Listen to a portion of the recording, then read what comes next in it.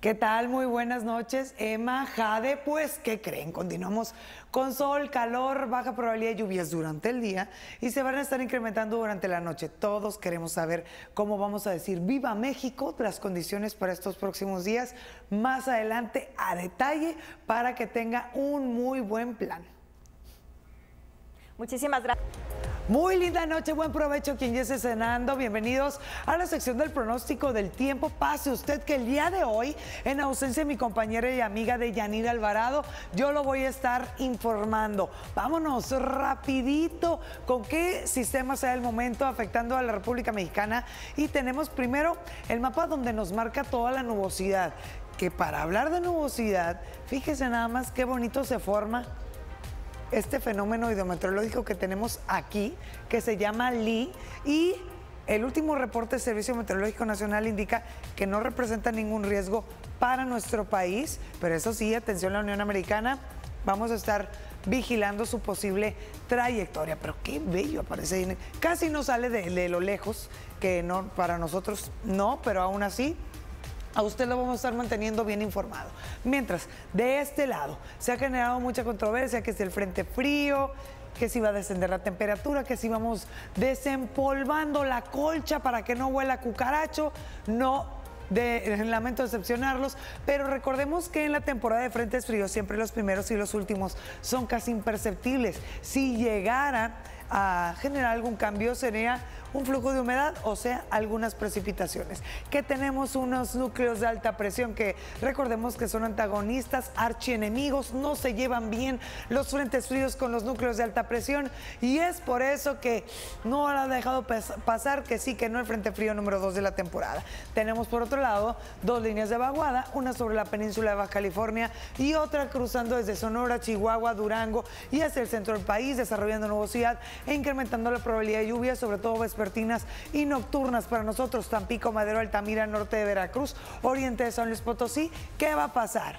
Bueno, pues estamos amaneciendo con un termómetro mínimo bastante agradable de 28 grados, pero ya a las 8 de la mañana tenemos sensación térmica que supera los 30. Prepárese porque esto sigue no hay que bajar la guardia, hay que tomar las medidas preventivas para evitar afectaciones en nuestra salud con estos termómetros tan cálidos. Para muestra un botón, llevamos más de 10 días al hilo con sensaciones térmicas entre los 38 a 39 grados centígrados. Si acaso alguna precipitación muy ligera en la madrugada y tan tan bye bye se acabó mucho calor durante el día. Termómetro mínimo y máximo de todo el país. Vamos a verlo. Monterrey amanecen a 22 y se van hasta los 35, máximo de 28 en San Luis Potosí, 34 en Durango, máximo de 39 en Hermosillo, de 28 en Ciudad Juárez, es decir, tienen un cambio importante en Tijuana de los 19 a 26 y en La Paz de los 27 a 37 grados centígrados. Mesa Central, Ciudad de México, 12 a 26, máximo de 25 en Puebla, igual que en Zacatecas, De los 12 a los 30. Guadalajara, máxima de 30 y Cuernavaca 17 a 27 grados. Suroeste y península de Yucatán, Morelia 11 a 28, máxima de 27 en Jalapa, 33 en Villahermosa, 27 en Oaxaca, 34 allá en La Blanca, Mérida, Tuxtla Gutiérrez, Chiapas, amanecen a 22 y alcanzan una máxima de 32. Cerramos con Cancún de los 26 a los 33 grados centígrados. Hasta aquí la información del pronóstico del tiempo, pero aún tenemos más información para usted. No se vaya ni se duerme, mucho menos le cambie, que no hay más aquí en N+. De tu esfuerzo.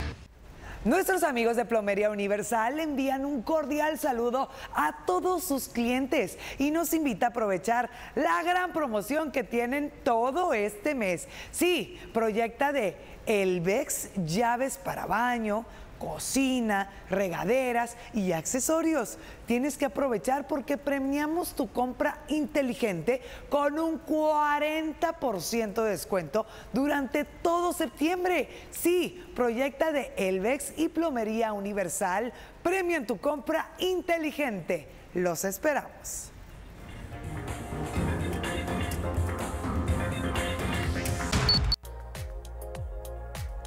Segunda sección del pronóstico del tiempo.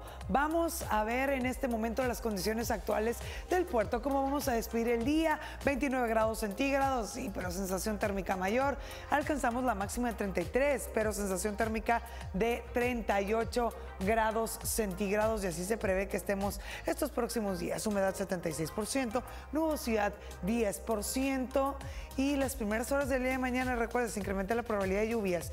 Viento de componente este-sureste en velocidad de 14 kilómetros por hora y presión atmosférica en los 1011 milibares. Ya sabe, los valores normales, 1012, 1013 milibares. Termómetro mínimo y máximo del estado para Nuevo Laredo de los 26 a 38, Reynosa 25 a 37 y máxima de 36 para Matamoros. Allá en Ciudad Victoria de los 22 a 36 y en la zona sur, Tampico, Madero, Altamira y Mante la mínima con la que vamos a amanecer mañana es de los 24 a los 27 grados centígrados y la máxima de los 34 a los 38 grados centígrados. Pero ya sabe, esto es un chiste ya que la sensación térmica es mayor.